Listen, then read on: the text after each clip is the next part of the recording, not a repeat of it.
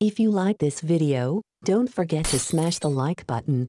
Subscribe and stay informed. Addicted to Macintosh. Hi, I will show you how to schedule an iMessage on iOS 18.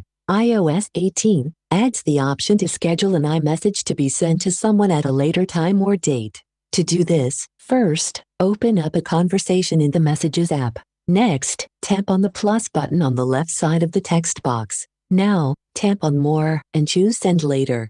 Don't forget to type in your message. To change the send time, tap on the blue bubble that defaults to tomorrow 9 a.m. From there, you will have a slider that lets you input a date and a time. With your time selected and your message typed in, tap on the blue arrow to schedule it. It's that simple. Hope you enjoy this video. Have a nice day. Subscribe and stay informed. Addicted to Macintosh.